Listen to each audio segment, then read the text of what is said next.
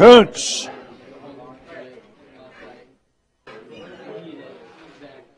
Triska. Reeves. Acar. Yes.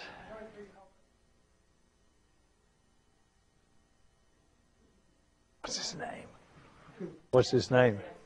Estes? Estes! Estes is not here. okay. We were talking about the ends of the beams holding up the required shear loads due to the applied loads on the beam. It's uh, complex, it's not complicated. You have to be careful. You only need one number, that's your h over the thickness of the web. And depending on how slender that thing is, how much tendency it has to buckle or not to buckle, you are given different variables, different things you have to do. It's a little unusual in that um, the phi changes. The phi doesn't usually change depending on the slenderness ratio on most of the stuff we've been doing. Quick review is uh, for all provisions except G21, which is getting ready to talk about, is a 0.9. So since it's not a 0.9, I guess it's a 1. The basic strength is 6 tenths of the tensile yield, which is the yield in shear, times the area of the web, times, and then we'll have a reduction factor on here that will indicate how susceptible the web is to uh, buckling. And then he tells us for webs with less than this uh, square root E over F sub Y breakpoint, phi is a 1, and C sub V is a 1. Now, he already told you phi is a 0.9 for everything. What in the world? Is that Estes back here? Well, that sucks. Ah, my goodness. Okay. We thought you were bailing. And so it's temporarily one for a short period of time where your slenderness of the web is less than this break point, depending on your steel. Then it's 0.9 for everything else. The C sub V changes depending on the slenderness. It actually stays the same from 2.24 times square root of E over F sub Y up to 1.1 times square root of 5 for most cases times E over F sub Y. You just put your uh, H over T sub W and you put the numbers in there and you see where you fall. Then when it gets a little more slender, you have another C sub V, same phi. When it gets a little more slender, you have a different C sub V and uh, the same 0.9. The only difference in k sub V, we said that for webs without stiffeners and this, that's almost always the case. That's already getting pretty bad. K sub V is a 5, except for T shapes. If you had a beam made out of a T, then k sub V is a 1.2. Here's what stiffeners kind of look like. They weld plates in there, they weld plates in there, they weld plates in there, and uh, they make little shear panels, what they call, out of these little boxes, and that strengthens things up quite a bit. In that case, k sub V changes depending on the distance between the stiffeners and the H. Remember how H is not equal to D? We've used that earlier. So, pretty straightforward. We had already started on a W 14 by 90 back on our page 212 until we got off in in the pictures and the codes and everything that go with this, so we have some idea what's going on. We had already calculated, well, we didn't calculate it, we probably never will, pulled it out of a table on page 1-25 for a W14 by 90, page 221A, there it is right there, W14 by 90, it's not on that page, W14 by 90, there's your H over T sub W, 25.9. So we know what we've got. All we don't know now is where we fall in the scheme of things. So our first break point was the 2.24 square root of, I think we worked that out before, 54. And since our 25.9 is less than 54, then our uh, web is going to yield. It's not going to have any buckling problems to it at all. So the phi will be 1 and the C sub V will be 1. And he also says, as pointed out in the spec note, this is the case for most wide flanges, that specification note to the user, the comment, 16.1-325. So all you do then is you, uh, LRFD 25.9, less than 54, phi is 1, uh, C sub V is a 1, and so you get 185 kips out of it. That 2.24, that's right out of these. Um, hmm Well, the 25 point, yeah, that's that's correct. Uh, let me make sure which one. You're talking about the, the 22.24? Okay, that's on table B1 and B2. Uh, maybe you're right. Maybe it is B4. Right. And up there it ought to say something about bending as opposed to compression. Uh, uh, bup, bup, bup, bup. Well, actually, this. They just bring.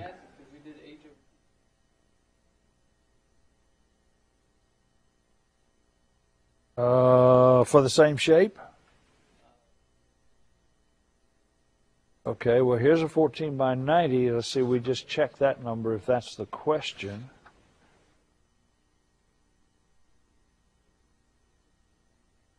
All right, here is a W14 by 90.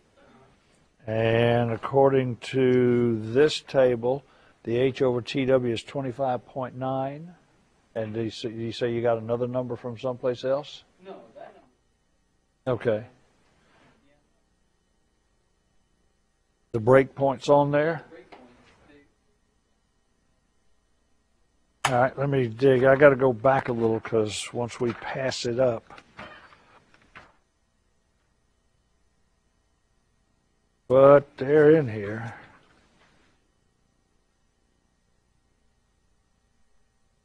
Oh, that's moment strength.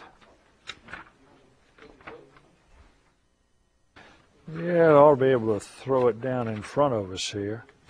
That's for shear break points, right?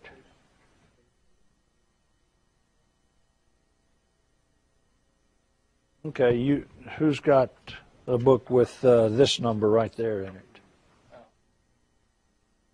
Number we're looking for? I'm looking at the completely wrong. Uh, these are compression elements, so these will be your flanges. Okay, so we're looking for the web. Oh,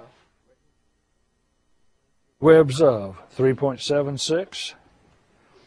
And uh, so these are, this is for the web being buckling in the long direction.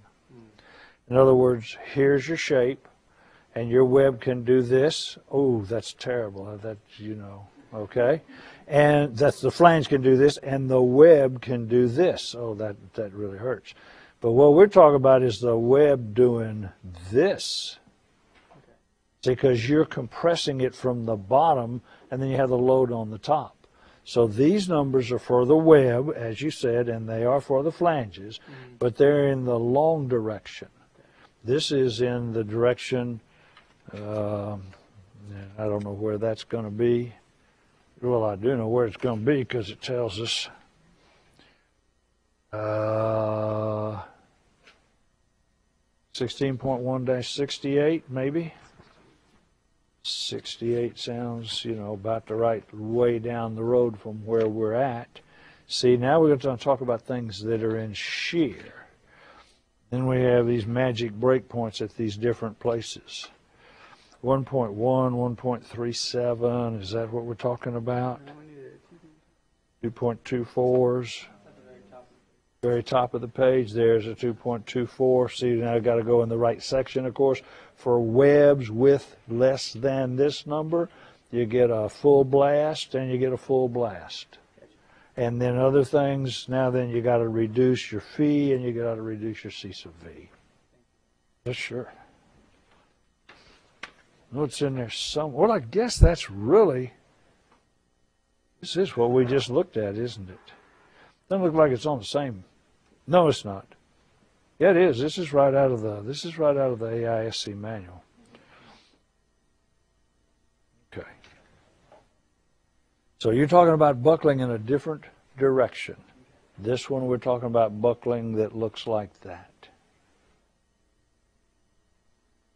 So since ours is just not subject to buckling at all, it's just too fat and it's too short, then we get, you know, the full 185 kips out of the thing. Then, uh, for example, so and so, so and so, uniform load maximum support equal to the reaction. Okay, so he wants to know here was our case. Our case was a 2.08 kip per foot beam, 45 feet long. You'll find that back on page 212. That was the original problem that we were working. And he's used it for a couple more examples now. Maximum reaction on the end would be 2.08 times 45, half for you, half for you. And that comes out 2.08 times 45 cut in half, 46 kips. It's less than our 185, so that's the final proof that this beam will not fail in shear in the web. If it fails in buckling in the web due to bending, that's somebody else's job. Although none of them do, because uh, they they're too short, too fat. They may fail by flange buckling along the axis of the flange.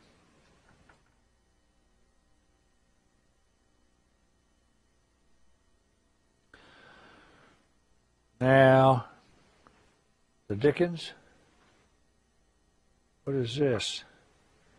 W14 by 90. Huh? Look at this. Look at that. It's got a table with it in there. Wonderful. Now he tells me. There's that 185 we just worked on.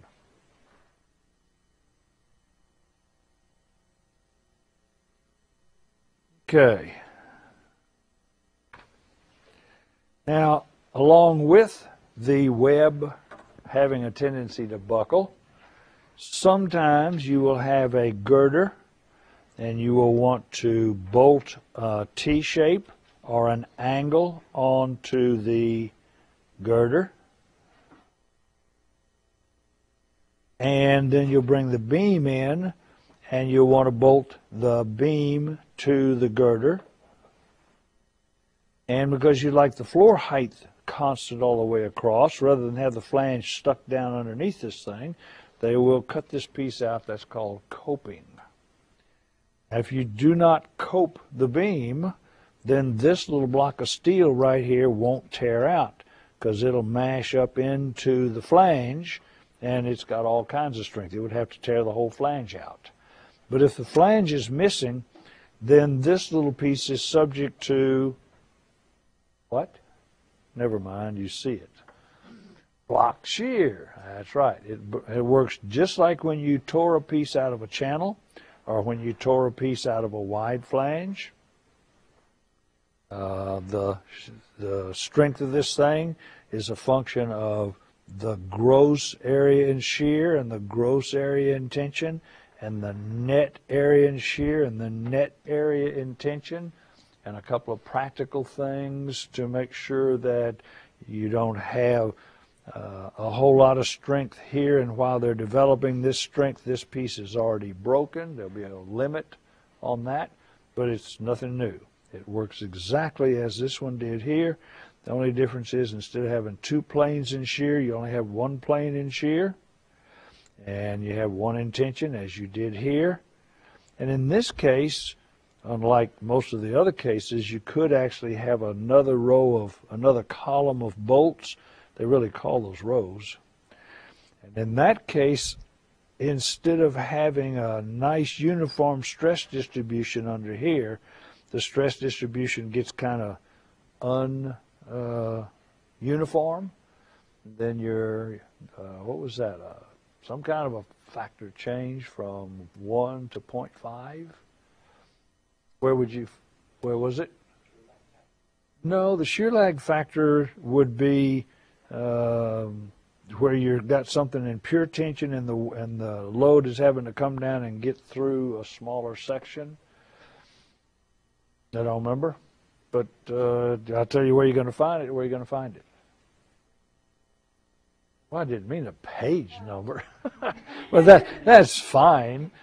Okay, but I was thinking, you know, well, going to find it in block shear, see, because that's where we found it in the first place. And you do say it's on 16.1 dash. All those, okay, thank you. And what was that thing called? It was uh, you. That's right. I remember the BS. Uh, well, uh, but I didn't remember what it was, T or U or what it was. That is U sub BS, and it's either 0.5 for this for this case, or three or four or five, and it's equal to 1.0 if you just have a single column of bolts. Then this stress is pretty uniform. Uh, yeah, this is pictures from last year. Here's pictures from this year. There's the beam. There's the U sub BS for a 0.5. There's the U sub BS for a 1. That's on 16.1-412. Thank you. Here's another one where they're running the thing across a girder. This one they're using it, they're bolting it to a column. Here's where they're not doing anything, just setting it on a on a on a, on a pad. That's the shear that you and I are working with right there. That's the the area of the beam we're trying to make sure that it doesn't buckle uh, up to where we are so far.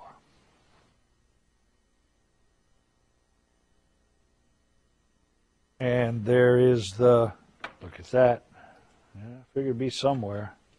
Uh, that must be that's where we got the equation. That's right. I know what you're talking about. This is in the commentary where they talk about this.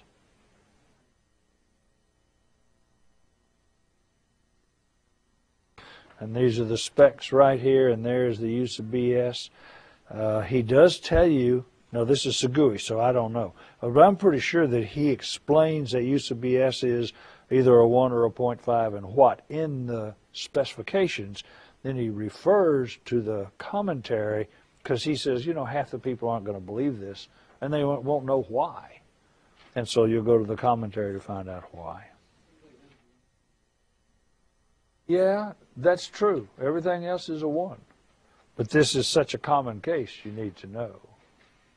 For instance, if you look further back in the in the manual, you'll find a whole section on bolting things like this and how strong they are because there is there is some moment applied to this group of bolts and there is some shear applied so there are some bending moments on there and uh, you'll see some with one row two rows three rows four rows. So he wants you to do a block shear problem. He wants to know how strong this little piece right here is. Uh, these are three quarter inch diameter bolts. So you're going to have to add uh, the extra 16th for fit and 16th for uh, damage to the hole size that you think you see there. You're going to have to have a tension area down here, one and a quarter times the thickness of a W18 by 35 beams web. It's 50 KSI steel. You're going to have a gross shear area of 9, 10 of 11 inches tall times the thickness of the flange. Kind of like that. Then you're going to have to take off one, two and a half, one, two, three and a half holes to get the net area in shear. And I have to take off a half of a hole to get the net area in tension. Then you're going to plug it in this equation right here. You're going to know the net shear and the net tension. You're going to have, as you said, going to be a 1. There is your ultimate in uh, tension. Here is your ult. Um, what is this? There you go. It's the ultimate in shear. That's good. And then there is another equation where he would like you to, sometimes if the yield gets up here and this piece yields, you know, and lets and pulls so far, it's so strong that this thing here is already broken in tension on the back end. He doesn't want that to happen. So he's going to limit this term to the six tenths of tension yield times the gross area as opposed to the net area. And then the last term is the same as before. So I'll leave it for you to run out the numbers on that case. Here's a good beam. It's got this supported back there pretty far, probably going to develop most of the shear strength in the web. This one, I'm not sure, that looks a little short. Just looks ridiculous. The shear stresses are going to have a hard time getting up in there. Now, as far as how much it'll take the things we've got so far, this is not a function of that. But we'll get into designing these plates, and at that time we'll start making sure that they are long enough back in here so that somebody doesn't give this a try. There's a side view of something bolted on. I don't know if that's an angle or a T. Yes, I do, because here's the top view. There's the T. T is bolted to the column and then the, the beam is bolted to the T. And block shear, you've done it. Deflection is also a limit. Two reasons, really. They call it it's a serviceability requirement, but number one, it can't be too, so much deflection that something really goes wrong by that something gets bent someplace else because this particular beam has got a lot of deflection to it. And also, if it feels unsafe, then it doesn't matter if it is safe or not because nobody's going to rent it. So there's two reasons that you limit those deflections. The deflections are actually uh, a serviceability requirement. There's a deflection due to dead load and there's a deflection due to live load. The deflection due to dead load, you can either live with it if you don't care, or you can have them camber it out. You tell me when you put the concrete on there and put the dead load on there, how much deflection you're going to get. And you say, well, I'm going to get three quarters of an inch.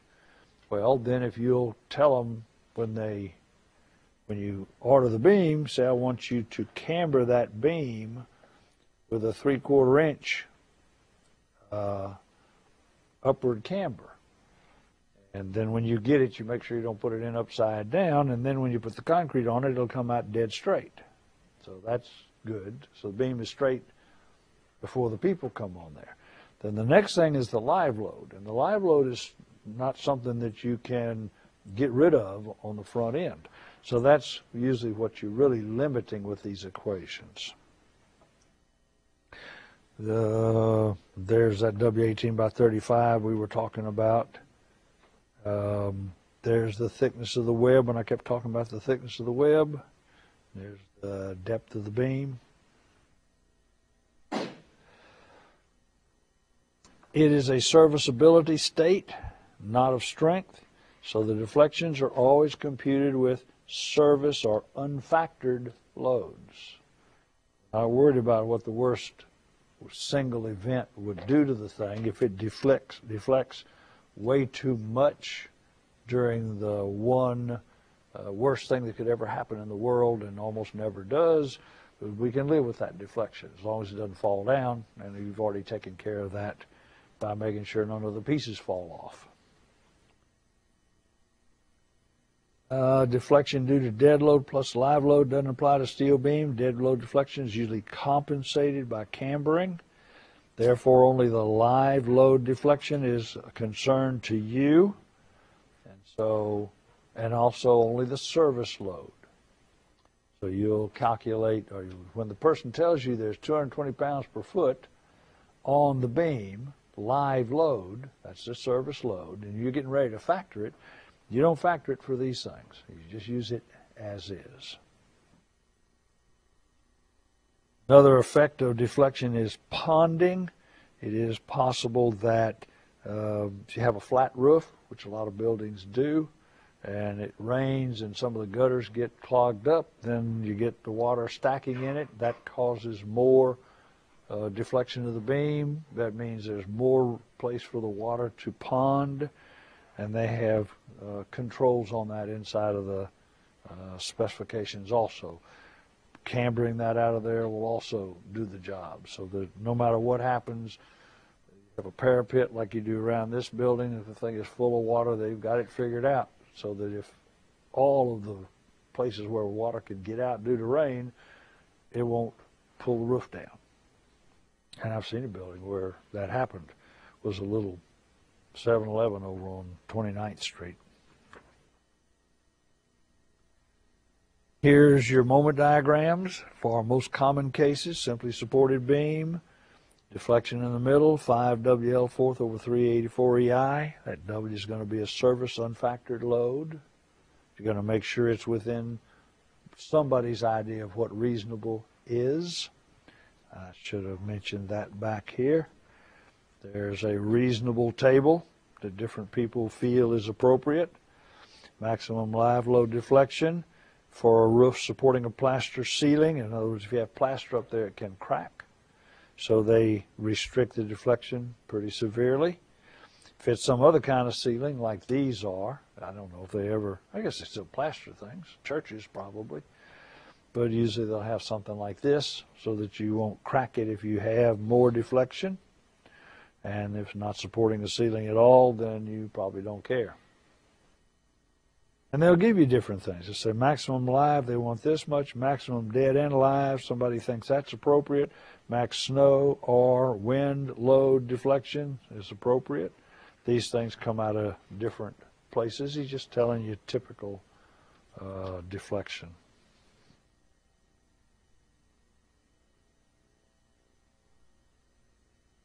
And if they have a load on your beam that you say, I don't have one of those, then you go back to your 345 work. And find the maximum deflection using one of the methods that uh, you were taught. Put a unit load on it, put the real load on it, integral MMDX over EI, works like a champ. So for example, he's got a service load of 500, dead, live 550. It weighs 35 pounds a foot. If he's going to be picky about it, he may go ahead and add that 35 pounds on there somewhere. Probably this already includes it. Says it's more convenient to express it in inches than feet, so he's going to go ahead and change everything to inches before he gets started. He's been told that the live load deflection of L over 360 has been called for. He wants to know if it's okay. Of his deflection equations, 5W dead live fourth over to 384 EI will tell him what he's going to have to camber out or live with. He may not care. May not care. Live load deflection, the only thing he does is changes the load from 5 to 550, 0.678. But the live load deflection has been restricted in this design uh, to L over 360. 30 feet long, 12 inches a foot. So one inch is permitted, so his live load deflection is not excessive. If you're not told what that number is, then obviously it's either somebody else's problem or they don't care. now, designing a beam, going the other way, old pop quiz. Good one. I might use that Friday. Yeah, Friday. Here's a different one. Uh, one of them's 10 inches deep, one of them's 8 inches deep. This one shows the plastic neutral axis here. Why? Area above is equal to area below the plastic neutral axis. Where's the plastic neutral axis on this one? At the top? Above here? Below here? How much? Yes? What do you mean, yes? One inch. Look at that. You're absolutely right. That's because 10 minus 1 is 9, and 8 plus 1 is 9, and that's the plastic neutral axis. And Z for that one would be 8 times 1 times 1 and a half plus 1 times 1 times 0.5 plus 9 times 1 times 4.5. Good. That would be Z. And M sub yield would equal to F sub Y times Z. And M sub N would equal to what?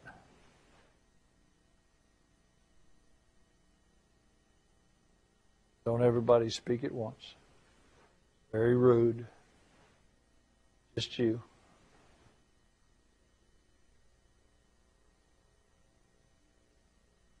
M sub B, BF sub Y. M plastic, that's that's right. M yield in plastic. Thank you. I'll, I'll use that. I'll go with M sub P. And M sub N is you're off the hook. Better better symbol. M sub M sub nominal, how much? Ten? Same? That's the nominal strength. M sub plastic. It was just hard to get that out, wasn't it? And then M sub U has to be less than or equal to what? Resistance factor of how much? 0.9 times M sub nominal. A lot of terms, a lot of terms. All right, so designing one now. Where'd my word design go? There we go. Beam design. You're going to have to try and pick one that's got all of these things that are going to work in your favor. Going to have to have enough plastic moment. Going to have to not laterally torsionally buckle. Going to have to not buckle in the flanges. Not going to buckle in the web. Commonly, he suggests that you compute the required moment strength so you know what you're being asked for. You do that by factoring your loads and getting a maximum moment in the beam. Select a shape that satisfies this strength requirement. It can be done in two ways. You can guess, just go to the middle of page 100 through 600 and just pick one. I guess you could. And then if it's too strong, pick a lighter one or vice versa. Or, I like this, or better, use the beam design charts in part three of the manual. They're on page 399 through 142. You've seen them. They look just like this. We've been doing it forever. And that's all they've done is they've written them down for you on these pages. You only see this little bitty snapshot on any given page, but they're, they're all there. Then after you pull that beam, check for the shear strength. It's very seldom going to control. Then you check for the deflection. So he's got a regular old wide flange, 50 KSI steel, simply supported, five and a half kip per foot live load. Probably has some dead load of its own here. Uh, it, oh, I like this. Why do I like this?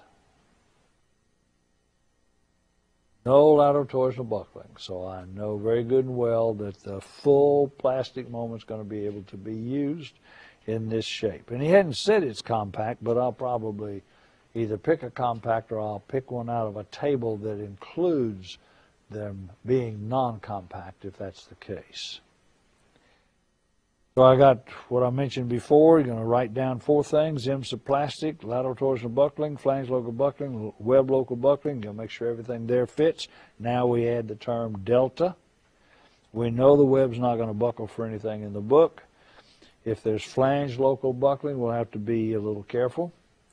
It's not going to laterally torsionally buckle, so we're looking for M sub P. First, he suggests we get our loads.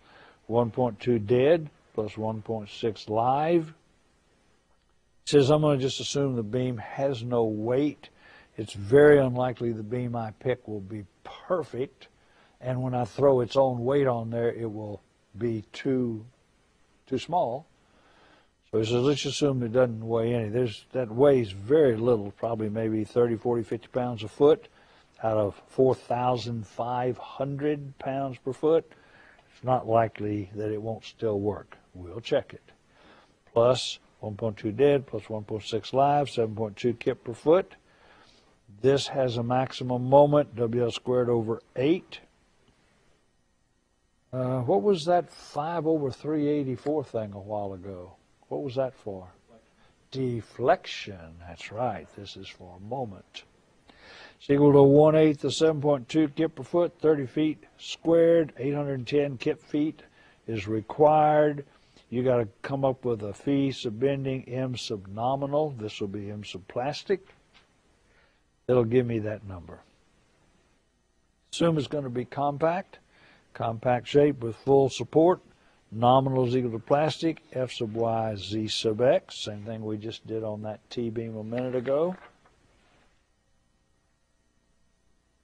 From phi sub b, m sub n is greater than your request. There's your phi sub b, there's your m nominal. That has to exceed your request. Solve for the required z of your shape. z is m sub u over phi sub b f sub y, 216 inches cubed. If you say, too fast, too fast, go back and take a look at it. But there's nothing new. I mean, we've been doing this now for weeks. So I need a beam that's got a 216 cubic inches on it for Z, and I got a really nice thing called a Z table. On page 3-24, I need 216. Uh, no, no, no, no, no, no, no, no, no, no, no, no, no. Look at this. They're grouped in sets. If you need a, a, a 190, this one will work, but the ones above it, the, you'll find this one is the lightest. That'll give you the 190. It's the lightest one out of this whole set. 120, 86, 83, that's the lightest one. But it doesn't matter because that's still not going to work. 216, 216, here we go right here.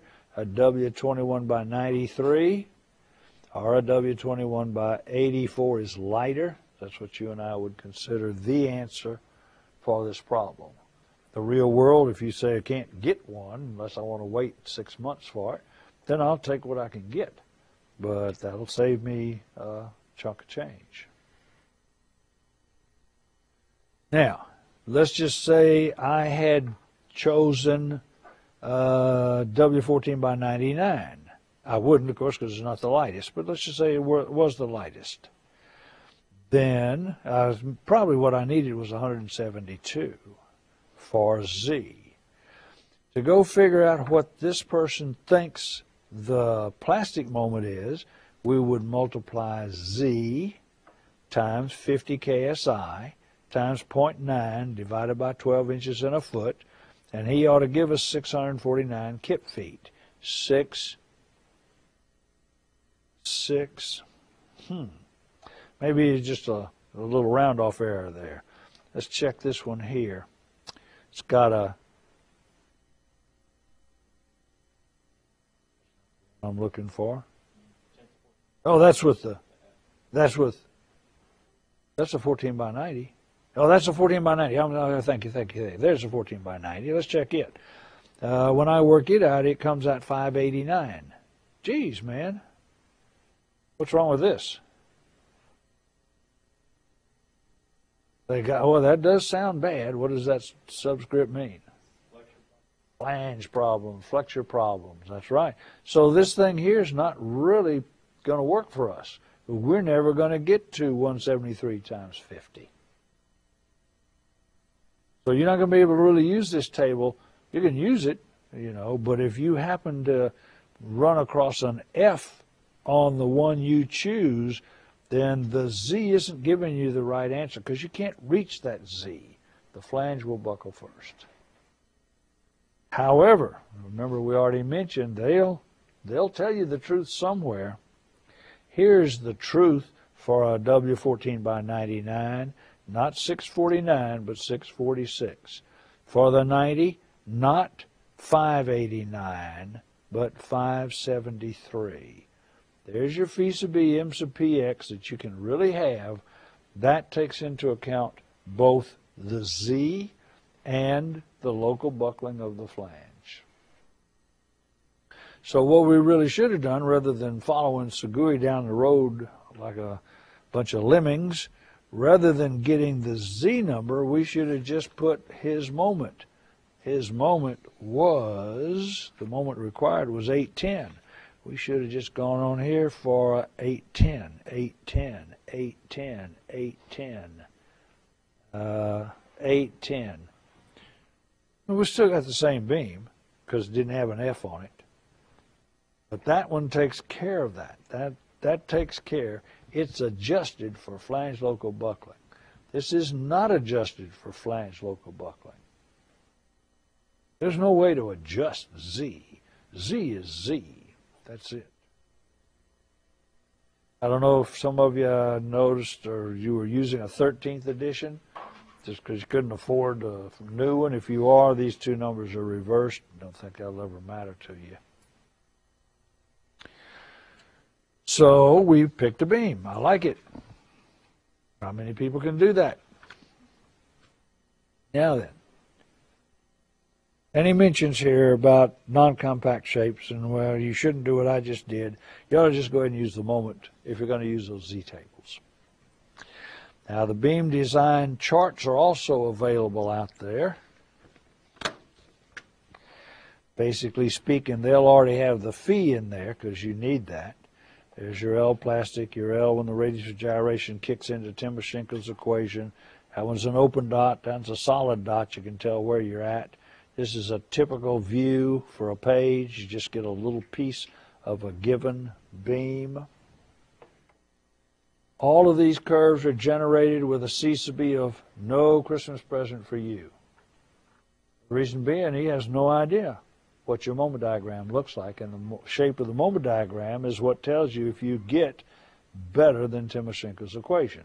So that's a limitation to what you see written on the page. We can get around it but uh, we'll have to get around it. Uh, one thing is, when you do use C sub B other than 1, and somebody tells you you can multiply this number times 1.3, and it goes right there, that's fine.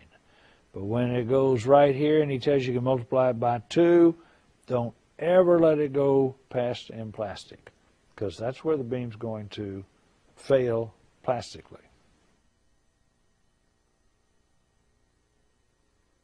Uh, here are some typical numbers.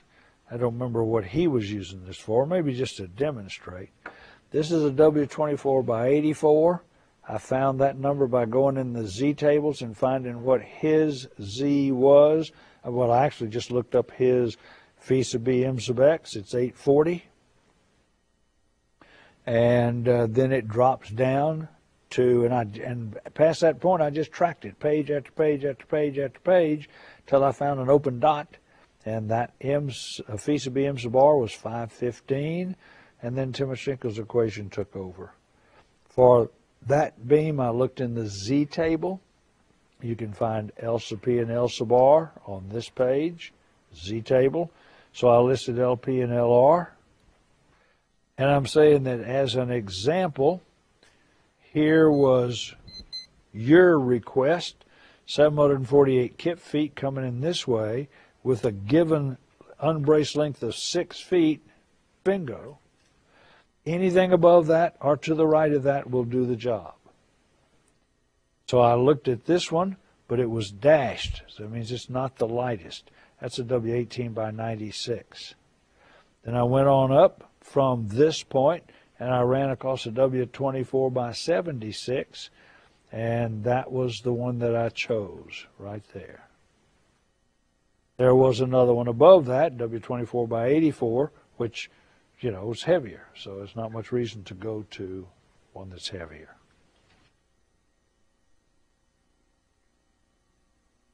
Uh, any curve to the right or above is stronger. Charts are entered with the unbraced length and the required strength. Anything above the right gives you an acceptable beam. If you run into a dashed curve, there's a lighter shape right around there. Go dig it out. Uh, his example 510, the required design strength was 810, and it was continuous lateral support. Uh, sure to say anything different from what you and I were saying. Uh, read all this stuff. I may have missed something. Now, this is where I showed you. This is limited by Z. This is limited by flange local buckling. And so he's just going to show you this. That's what you'll see in the book.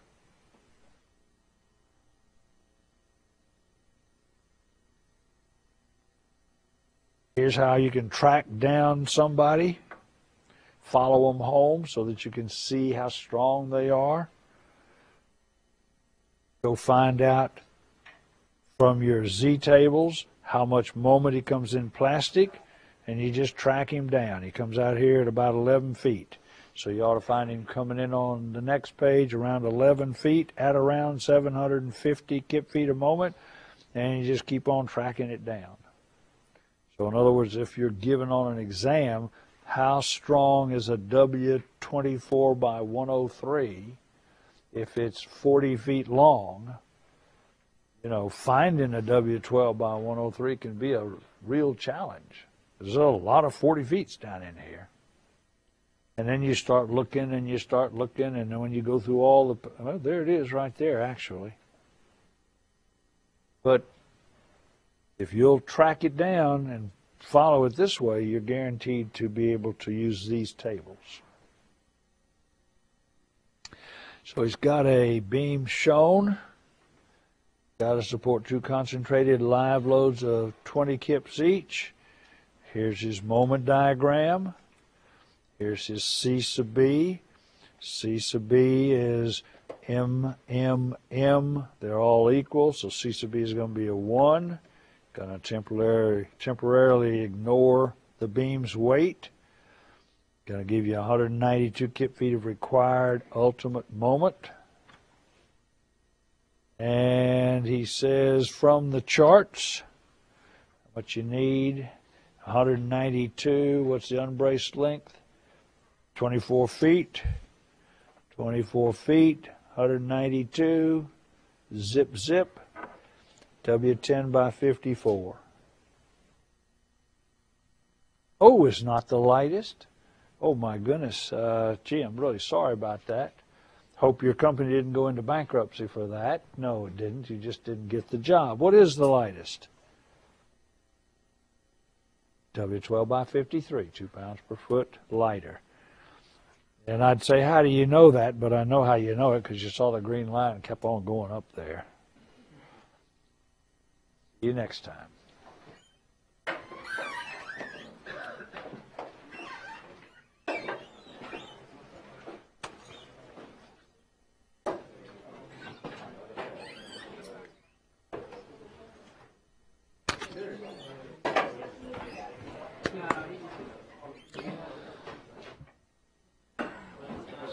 Yes, sir. It's going to be on the on the quiz on the syllabus, right? That's correct. Said that that example was gonna be on Friday. Yeah, yeah. No, that's true. I didn't look and see. Have we not gotten into that yet? There won't be on a quiz. Well, uh-huh.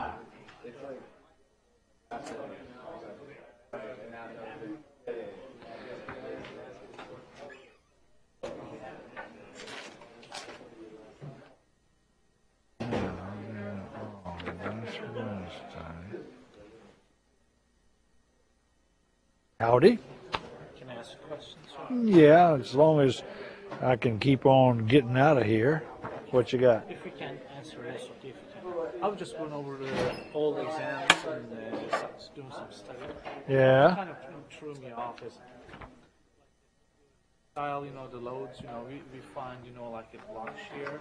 Yeah. The question says no block shear uh, uh, needs to require to find. Right. Well, they're just saying somebody else has been assigned that problem. He was he was told to do that.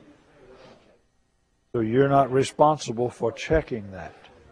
If it says block shears, you can omit block shear for this problem.